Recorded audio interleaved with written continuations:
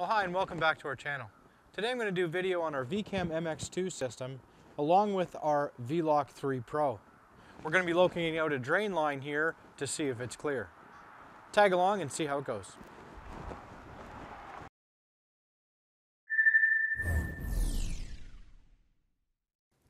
Okay, so what we have here is our VCAM MX2 camera system and we're going to be going into this sump line to inspect where it goes. The homeowner's concerned about where the drainage happens for this line and uh, to make sure that the drainage is clear.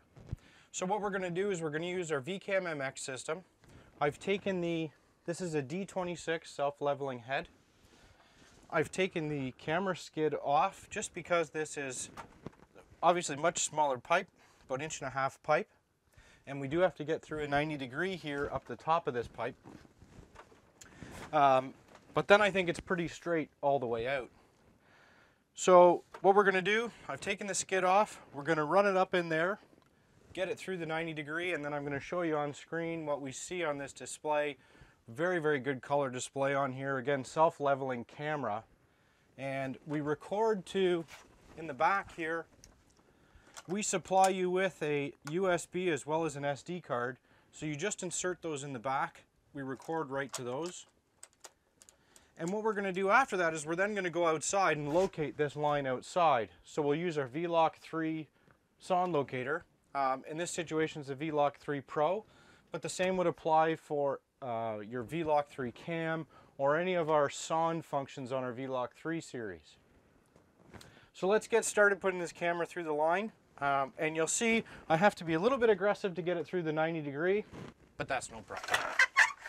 Here we go up, we're at the top it a shove, and we're through that 90 degree. So let me bring in here and see what we see on screen. Okay, so let's run through our controls here quickly on our VCAM MX. So the first thing obviously is our power button here, push and hold, fire the unit up.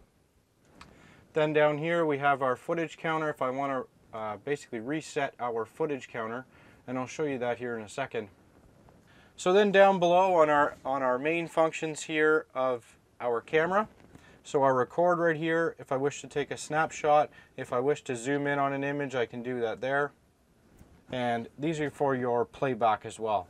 We also have a microphone, so if you wish to go ahead and record voice over this, um, you can go and record stuff like the address you're at and whatnot.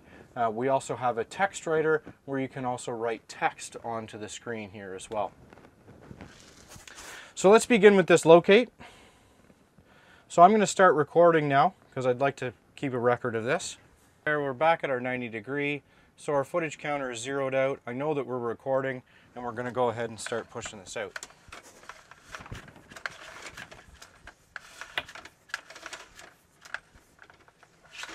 Okay, so you can see there we've left our ABS pipe and now we're into what some of us would refer to as a big O. So drainage, looks like there's a little bit of a dip if you saw that. Seems like we're changing elevation. Oh, looks like it's going to go down a bit. Remember, this is a self-leveling camera, so this is at the bottom of the pipe, so we can see, you know, the bottom of the pipe here. Change a bit of direction again. Looks like we've got some crud. And looks like it actually changes direction here.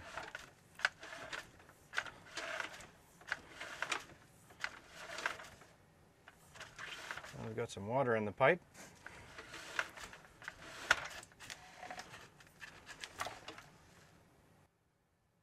So I can tell by my counter here I'm out 37 feet and you can see I'm actually underwater at this point.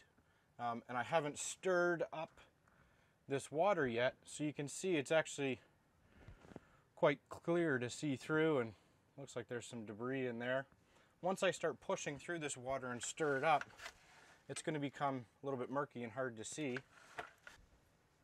So I am into some murky water here and I'm about at the end of how far I can push this. So it looks like I'm about 63 feet out. And so now what we're going to do is we're going to go grab the locator and see if we can locate the sonde on this. So what I want to do now is turn my sonde on. Quick push of the sonde button will scroll me through my sonde frequencies. Often we use 512, it's the most widely used sonde frequency out there. So that's what I'm going to use. Let's head outside and see what we can find. Okay, so here we are outside. We're in the area of where I believe the pipe is coming out. And because it was a straight shot, I didn't see any 90 degrees in the actual pipe when I was pushing it out and looking on screen. I believe it's going to be in this direction over here somewhere. So we've turned the receiver on, we're in 512, and we're going to start walking in the direction that the arrow shows us the most. So let's begin. So we've turned on sonde mode by pushing and holding the M button.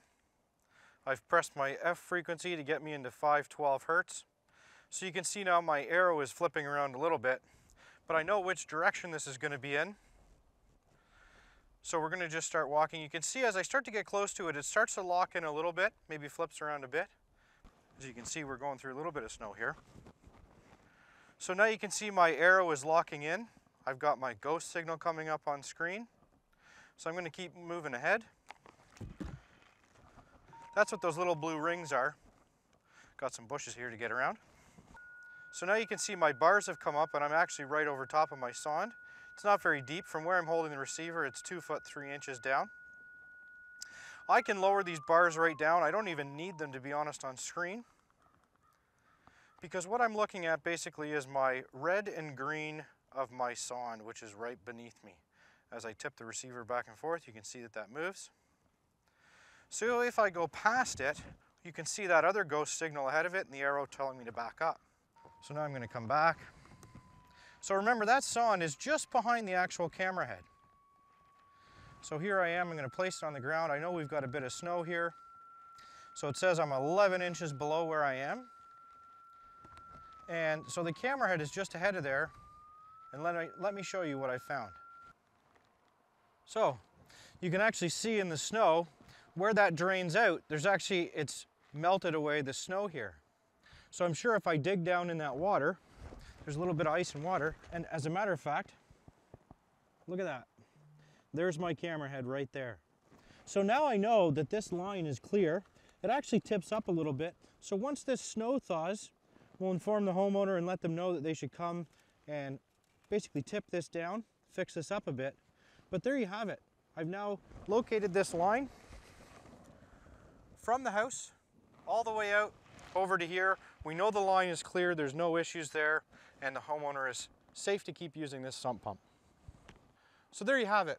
Using our VCAM MX2 and our VLOC 3 Pro receiver, again, whether that be any of our VLOC 3 line, including our VLOC 3 cam, we were quickly and easily able to locate out this, this line here and determine that there was no issues in the actual line.